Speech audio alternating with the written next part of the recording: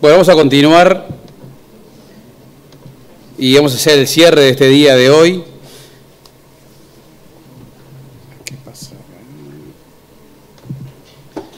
Y bueno, eh, algunas cosas que se han hablado, que he, hablado yo con, alguna gente respecto al, tema del uso de productos este, o de, distintos usos de los productos de construcción en seco.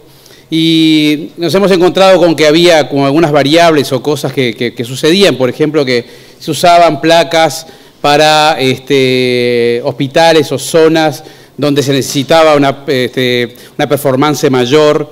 Bueno, quisimos ver un poco de qué se trataba el uso de estos productos en, en esos lugares que tenían mayor exigencia y para eso, bueno, este, nos acompaña Natalia Kramer, que es argentina, es arquitecta, es joven y es de la firma NAUF, está en el departamento técnico de NAUF, y que nos va a hablar un poco del, tema de uso de productos. Y a su vez, no sé si es condición de ser joven, pero capaz que sí, también ella, digamos, habla sobre, el BIM, sobre el sistema de, demostrado de trabajar la arquitectura, este, y bueno, la dejamos con ella.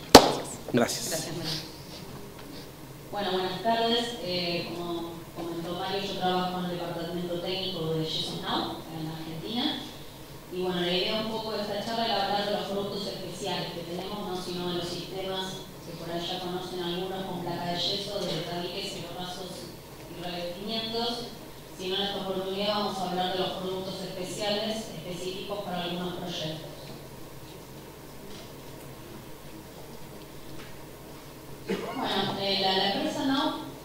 desde 1932. Es una empresa alemana, eh, es, un, apellido. Y en el 2001 eh, se inauguró la planta en Argentina, que es la foto de abajo, que es en la fábrica, producimos, eh, fabricamos placas de yeso, masillas y perfiles. Y actualmente la planta se agrandó y estamos ya fabricando yeso también, yeso proyectable y manual. Eh, en la actualidad estamos eh, con 150 fábricas en todo el mundo, en 60 países, y desde Argentina eh, tenemos 200 distribuidores que son los que comercializan todos nuestros productos, ya sean de Argentina o de otros países que también importamos. También exportamos a los países limítrofes, trabajamos con distribuidores en Chile, en Uruguay, en Paraguay y en Bolivia.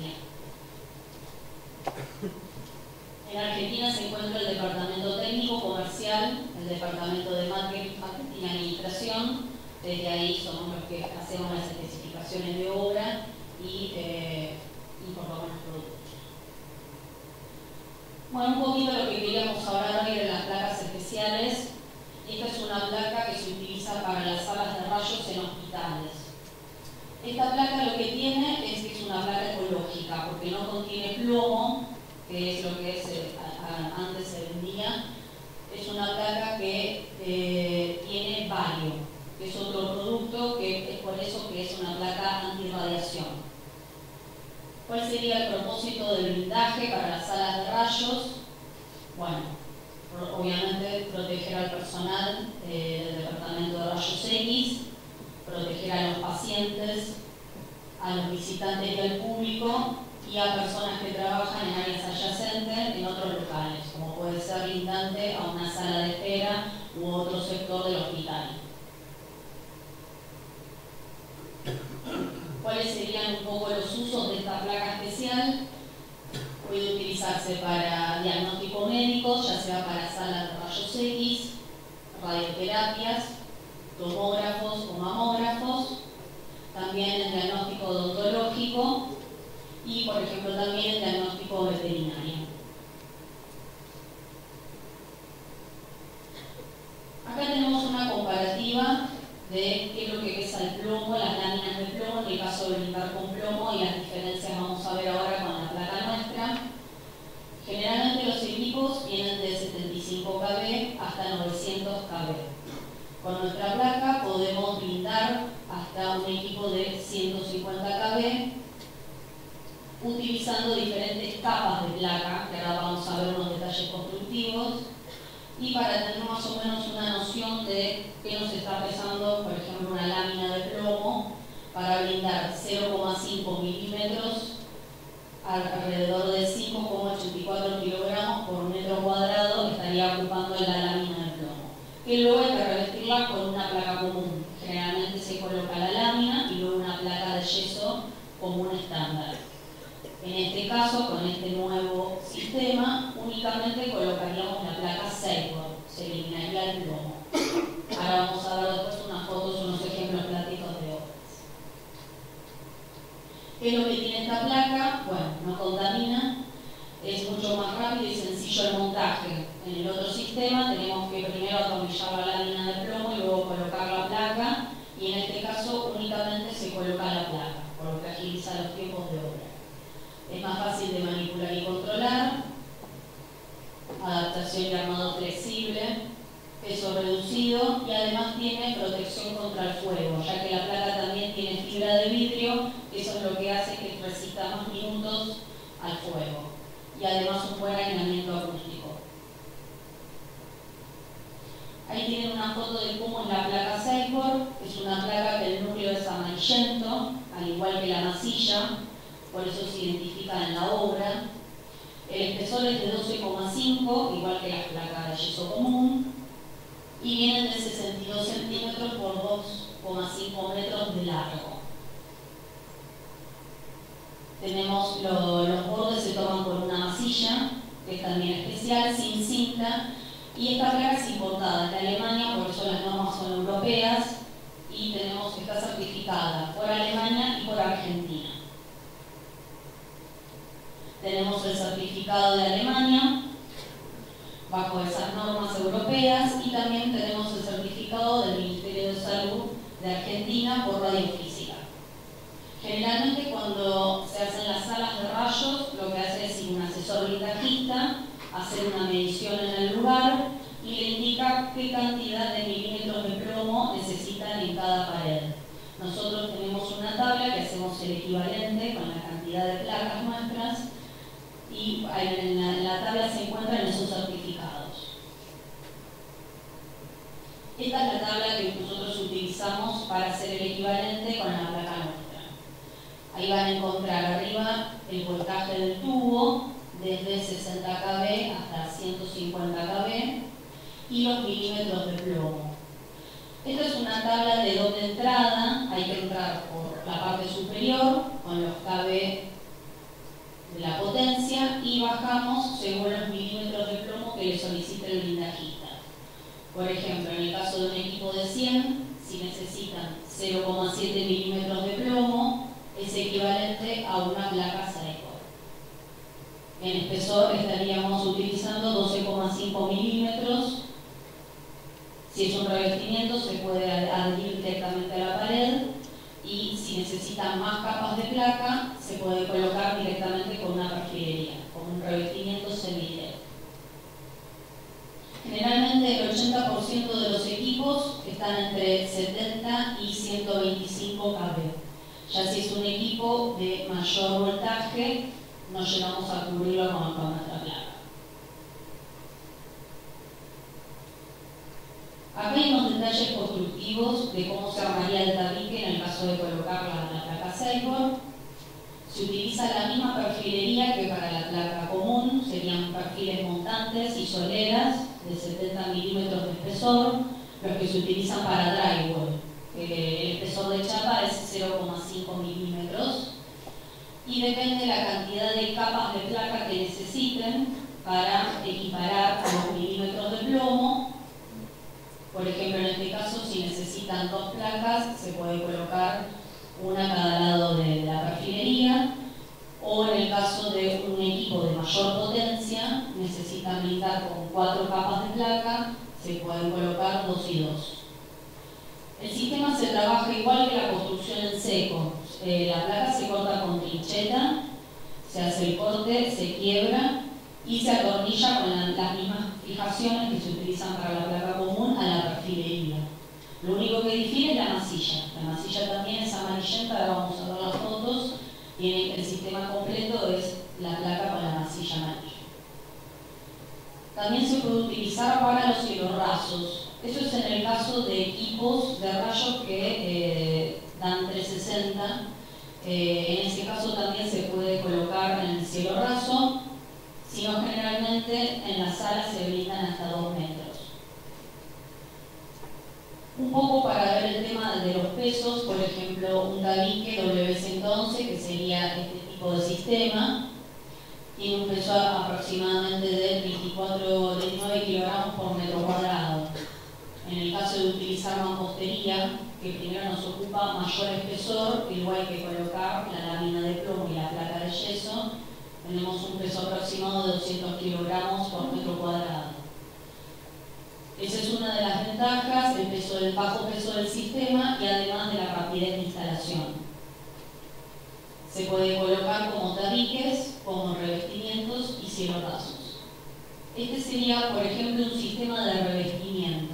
En el caso de que la sala ya cuente con, sea una refacción y cuente con un muro perimetral de mampostería y van a colocar un equipo de rayos, lo ideal es colocar una perfilería anclada a la pared y luego se coloca la placa seca. Esta es la masilla que se utiliza para el sistema. Se tiene que colocar en todas las juntas y también en las fijaciones, que quede todo sellado para evitar el paso de los rayos. Se puede cortar con trincheta, la masilla se llama seco, igual que la placa. El tomado de punta se hace igual que cualquier tabique. El tiempo de trabajo es aproximadamente de 30 minutos y es fácil identificar en la obra por este color que le decimos.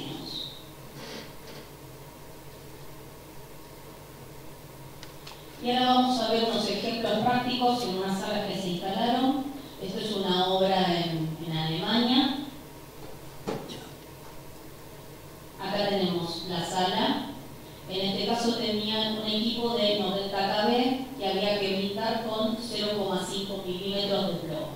Entonces ingresamos en la tabla con eh, la potencia del equipo, los milímetros de plomo, 0,7 en este caso está cubierto, y sería el caso una placa seco. Alrededor de todo el muro de mampostería se colocó una placa 6 tomada con la masilla 6 también.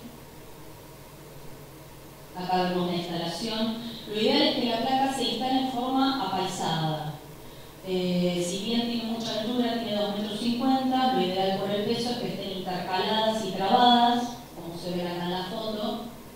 Lo mismo si hay dos capas, también que estén intercaladas y trabadas entre sí. Y que se coloque la masilla tanto en las juntas como en las fijaciones. En el caso de tener carpinterías o aberturas, lo ideal es prever el espesor de la placa para poder colocarlo antes de colocar la carpintería. La sala terminada, que luego se colocaron cerámicos. Ahí tenemos el equipo y luego se hace la medición. Por eso generalmente nos piden los certificados cuando luego van a comprobar sala para que verifique el aislamiento. Esta es una obra eh, del Hospital Sirio Libanés en Argentina también. Por ejemplo, acá en esta sala tenían un equipo de 150 kb y necesitaba blindar, depende también para dónde iba la máquina, había una pared con 0,4 milímetros, otra de 0,8 y otra de 1 milímetro, que era directamente donde proyectaba la máquina. Con estos datos ingresamos a la tabla, con cada con 0,40 era una placa Cyborg, con 0,8 eran dos placas y con 1 milímetro eran tres placas. En todo el perímetro de la sala hicimos tabiques y revestimientos en este caso. Ahora vamos a ver las fotos con la cantidad de placas según la tabla que necesitábamos. ¿Cómo? No, en este caso eh, hasta dos metros nada más. No necesitaba el techo porque no, ni el piso por la máquina, el tipo de máquina que era, y radiaba contra la pared nada más. Lo bueno que tiene es que esta placa tiene 12,5 de espesor, igual que la placa común, entonces hasta los 2 metros se coloca esta placa y luego se puede colocar la placa estándar, sin generar ninguna mochila. Ahora vamos a ver ahí las fotos. Acá se colocó un revestimiento, se colocó la perfilería y luego las placas. Esto era la sala anteriormente. Y acá vemos que arriba se continuó con la placa. Por eso brindamos nada más hasta esta altura, es lo que nos indicó el asesor bicajista según la potencia del equipo. Luego se puede colocar en alguna pared, si no hay radiación, se puede colocar la placa estándar. Acá, hasta esta altura, se colocó la placa Seibor y luego la placa común. Y acá vemos un revestimiento con tres capas de placa. ¿no? En esta pared, donde irradiaba la máquina, donde los rayos daban directamente, se tenía que colocar tres capas. Acá está la sala más avanzada. Acá también tenemos el blindaje hasta 2 metros, luego la placa común. En el caso de aberturas, colocaron también las placas, hicieron el masillado. Y en este caso se colocó placa verde porque había un baño continuo. Este el resto es con placa seco. Acá está el revestimiento con dos capas de placa.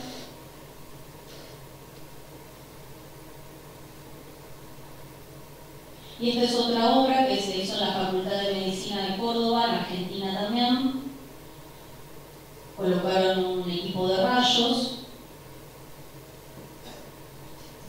Y esta era toda la sala. Acá estaba el cuarto donde estaba eh, la persona que iba a manejar el equipo.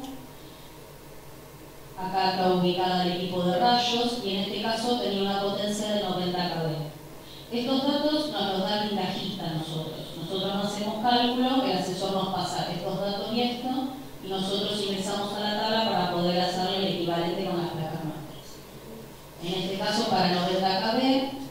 7 ya estábamos brindando la sala. Sería una placa Seymour para cada caso. Ya vamos a dar las fotos. Acá se colocó un revestimiento, también hasta 2 metros de altura. Acá es la sala donde está la persona que opera el equipo. La instalación es igual que la placa común, se atornilla y luego se hace el tratamiento de juntas sobre una perfilería o también pasta de agarre y acá también está el avance de la obra. Acá hay más fotos de la instalación, se corta con trincheta, en el caso estos recortes. Se brinda toda la sala con la misma placa y acá se colocó, vemos una placa, una placa 6 que era el espesor que necesitaban de 12,5.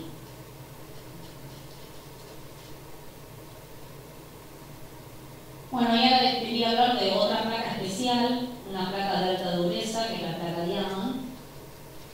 Este es otro de los productos especiales. Esta placa sí se fabrica en Argentina, en Mendoza, en la planta. O sea que el producto está disponible.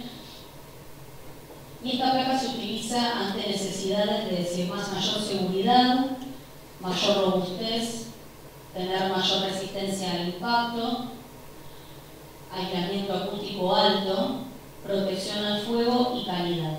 Esta es una placa que a diferencia de la placa común estándar tiene mayor fibra de vidrio, por eso tiene mayor resistencia al fuego y el núcleo es mucho más compacto. No es tan poroso como el de la placa estándar. La placa es más pesada y tiene un cartón que es de mayor gramaje. Todos estos beneficios lo que hace es una placa de alta dureza ideal para las áreas de circulación, por ejemplo, en, puede ser en aeropuertos, en alguna industria donde hay transporte de, materiales, para oficinas donde necesitan, por ejemplo, mayor aislamiento acústico, en colegios donde hay pasillos de circulación u otras áreas o las aulas donde puede estar expuesto el tabique a golpes y en hospitales también. Ahora vamos a ver unos ejemplos de obra. Además de esta placa, también el cartón está hidrosugado, que es las mismas propiedades de la placa RH, que es la placa verde que se utiliza comúnmente para baños. Entonces lo que también este, está bueno pues se puede utilizar para áreas húmedas, como si es un sanitario o un subsuelo. Que lo que tiene el cartón es, es de alta dureza superficial, como les comentaba, la alta resistencia al impacto, la instalación es lo mismo que la placa común, ¿no? Se corta con trinchetas, se genera el corte, se utiliza la misma perfilería y las mismas fijaciones. Eh, instalación rápida y fácil y además se saca ser los, sanitarios. Acá algunos ejemplos, nosotros estuvimos en, en eh, una feria de la construcción que se hace en Argentina, y habíamos este, realizado con esta placa una caja acústica en la feria que eh, la gente entraba para hablar por teléfono ahí. Este, se había hecho todos los tabiques con la placa Diamond, con doble placa Diamond y también cielo raso. También habíamos colocado un escalador durante toda la feria para ver la, la dureza que tenía la placa. Acá se ve la y el doble placado con placa Diamond, ¿no? Resistía el peso de una persona. Este tabique está sometido a mayores exigencias mecánicas, también tenemos los ensayos de INTI. Y viene en dos espesores, el 12,5 y el 15 milímetros, es igual que la placa común, y vemos que el peso es de 12,8 kilogramos por metro cuadrado para la de 12,5 y 15,5 para la de 15. Para que tengan una, una noción aproximada, la placa común estándar pesa 9 kilogramos por metro cuadrado, a diferencia de la Diamond que pesa 12,8 kilogramos por metro cuadrado, con el mismo espesor y las mismas dimensiones, 1,20 por 2,40.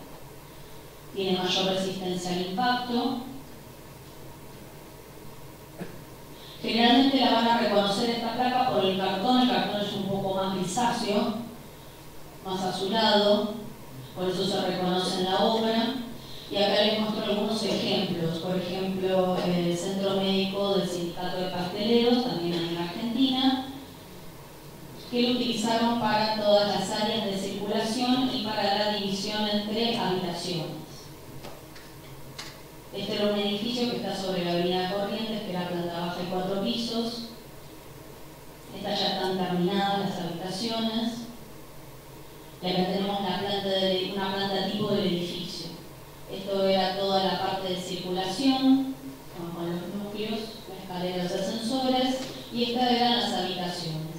La placa Diama se colocó en todo el perímetro de circulación, por todos los golpes de impacto que podría sufrir con unas camillas o con sillas de ruedas o circulación de los pacientes.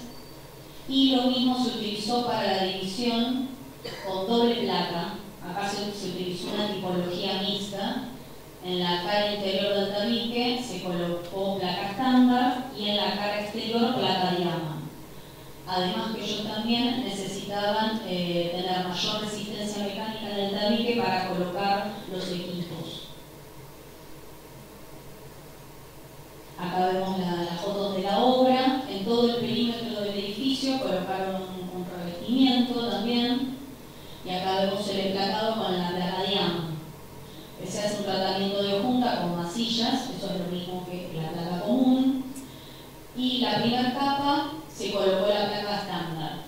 Y al segundo emplacado colocaron la placa diamante para tener mayor resistencia en la cara externa del tabique.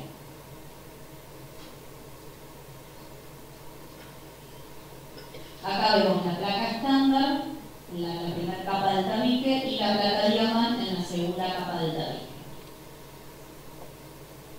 Luego se hace bueno, el modo de juntas, todo igual que la placa común.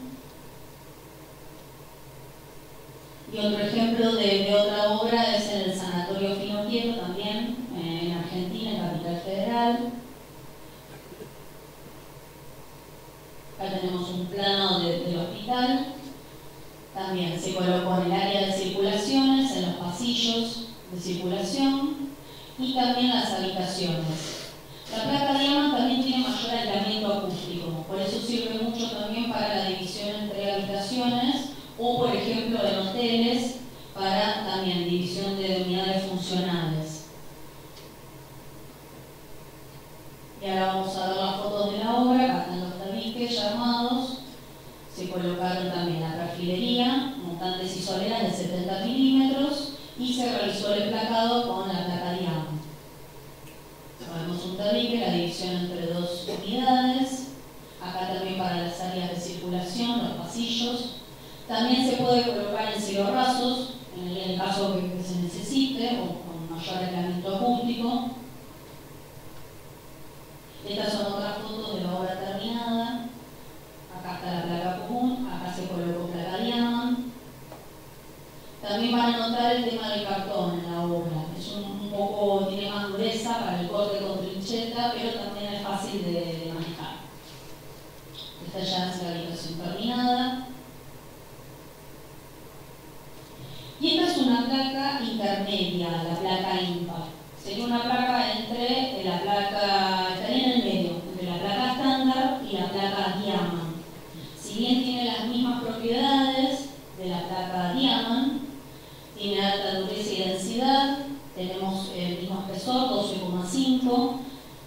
El peso es un poco menor, es de alta dureza, pero es un poquito menor que la Diamond. Y lo que tiene es que no lleva el tratamiento hidrófugo. Esta es la diferencia que tiene la placa IMPAC, únicamente se puede colocar en locales secos, en áreas secas, no se puede colocar en baños, por ejemplo. Después, eh, esto por eso acá está el peso, para que tengan el peso aproximado, eh, la placa estándar es de 9 y esta es de 11,10 kilogramos por metro cuadrado. No sé si tienen alguna pregunta porque así pasó para, para otro tema. Sí, eh, yo quería saber si estas placas se puede lograr salir con alguna cubatura. Sí, se puede cubar. Igual, al igual que la placa estándar, se humedece el cartón y se le da la forma que necesiten. Sí, tiene un radio de curvatura máximo, pero se puede cubar. Sí. No, la seis no. No, no, únicamente para locales secos también. Sí. La única que tiene esa, esa propiedad es la diana. Bueno, y ahora quería pasar a otro tema, que es las nuevas tecnologías. Un poquito contarles qué hace el departamento técnico de NAU y eh, un poco en qué es lo que estamos innovando eh, bueno, no sé si conocen, conocen la tecnología BIM. La tecnología BIM es eh, un proceso de gestión que se está dando ahora con otros software como el Revit o el Archicad, eh, que lo que hace es tener todos los datos del edificio durante todo su ciclo de vida, desde el comienzo del proyecto hasta la finalización de la obra. Utilizando diferentes dinámicos, ya, ya hay varios programas que ya trabajan con esta tecnología, modelando los edificios en tres dimensiones. Que lo que tiene justamente esta nueva tecnología es que se puede utilizar desde el proceso de diseño de la obra, toda la etapa de construcción, el análisis, documentación y fabricación, y todo el proceso de operación del edificio. Sería la parte de cómputo y presupuesto, cuando esto se refiere a 4D y 5D, eh, los costos de la obra, la logística, el mantenimiento, hasta la, renovación. Digamos, el mantenimiento ya es cuando la obra está finalizada y pasa al comitente. Todo lo que tiene este, este software es que al modelarlo 3D no es, no es mucho más fácil ver todas las interferencias que puede tener el edificio, ya sea de instalaciones, y ver los problemas y los conflictos que pueden surgir antes de la obra. A diferencia de otros programas como el AutoCAD que eh, se dibujan en Bueno, el departamento, técnico de NAU, lo que hace actualmente, tiene una biblioteca en, AutoCAD, que serían los detalles en, en 2D, y tenemos todas las informaciones de los productos, ya sean hojas técnicas, ensayos de INTI, y una hoja técnica y también eh, certificaciones y además una planilla de cómputo. ¿no? Eso es actualmente con lo que estábamos trabajando el NAUF y la idea fue un poco innovar en esta nueva tecnología y cambiar la forma de especificación de las obras. Nosotros generalmente recibimos el plano que nos envía el estudio de arquitectura y indicamos qué tipología utilizar en cada sector de la obra qué tipo de tabique, qué tipo de placa, de espesor, qué de aislamiento. Acá les mostramos un ejemplo cómo hacemos las especificaciones para los arquitectos ellos nos envían un plano. Esto, este plano es justo la, obra que vimos del Centro Médico de Pasteleros, que vimos con, con Plaga Diama en el ejemplo. Nos entregan el plano, la documentación de la obra y nosotros le indicamos cada tabique qué tipología corresponde y con qué tipo de placa. Por ejemplo, la tipología 1 en este caso sería con la placa común, la placa estándar, que sería para locales secos. En este caso, la placa RH sería para un local sanitario. La placa estándar RH, un local que linda a un local sanitario y a un local seco hacia el exterior. Y acá tenemos los detalles con diama, con doble placado. Acá es una placa diama y acá una placa estándar en el exterior, que es como se hizo la división entre las habitaciones que vimos en la foto. Esto es actualmente como lo estábamos manejando cuando el cliente nos envía el plano con AutoCAD. Surgió la idea porque ya lo están utilizando en Europa, ya desde el 2009, Alemania, Suiza, Holanda y España ya tienen una biblioteca de detalles con la nueva tecnología, con BIM, y la idea nuestra era pasar todos los detalles constructivos con esta nueva tecnología mediante el programa Revit Arquitectura.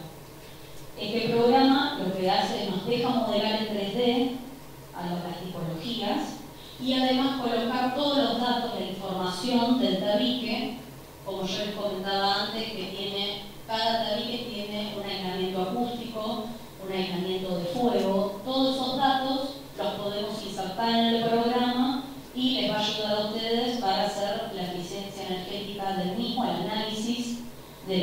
edificio con el programa.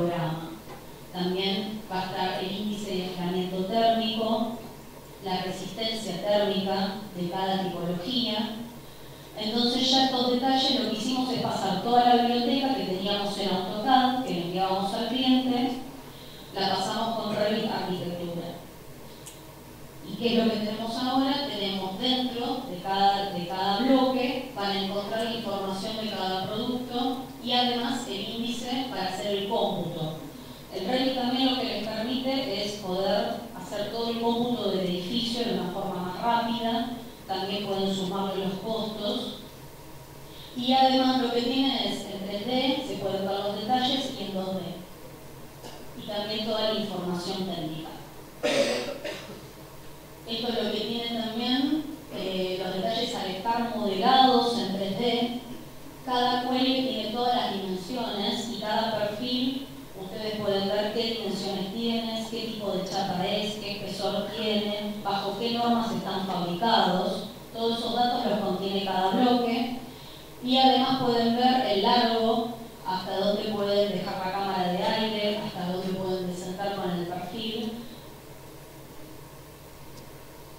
Y esto sería una especificación de obra con este programa, con Revit Arquitectura. El cliente nos puede enviar el plano en AutoCAD o en Revit y nosotros hacemos la especificación con este programa modelando en 3D. Sería la misma planta que nos enviaron de AutoCAD o en Revit, puede estar también. Tienen todas las tipologías de cada, de cada tabique y se puede ver ya modelado el edificio en 3D. Por ejemplo, las áreas que están verdes serían los locales sanitarios, las áreas que están violetas, pero que tendrían que ser azules, es la diama. Esta es la división entre unidades entre habitaciones, lo mismo en el pasillo, se colocó la placa diama. Tiene otra forma de visualización y también es más fácil para el cliente. Y este es otro ejemplo también del programa, esta es la pantalla del programa. Nosotros armamos un plano con cada especificación, ya sea con tabiques o con cielorrazos, y ya queda modelado en 3D, ¿no? Para ver la zona métrica del edificio con el tipo de placa. Por ejemplo, acá la placa diama, una placa verde, la placa estándar.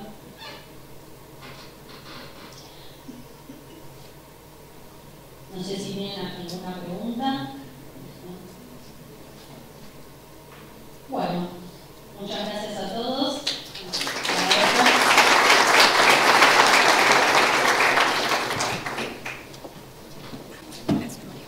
Gracias Natalia. Bueno, por el día de hoy terminamos eh, el seminario.